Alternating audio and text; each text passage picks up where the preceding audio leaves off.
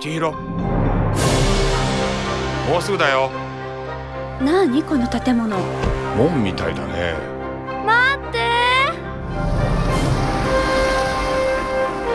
ここへ来てはいけない。すぐ戻れ。お父さんお母さん。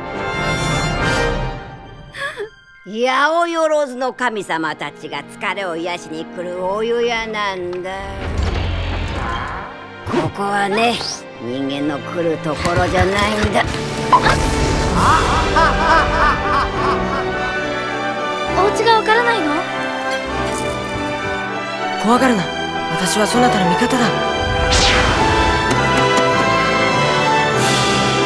一度会ったことは忘れないものさ思い出せないだけで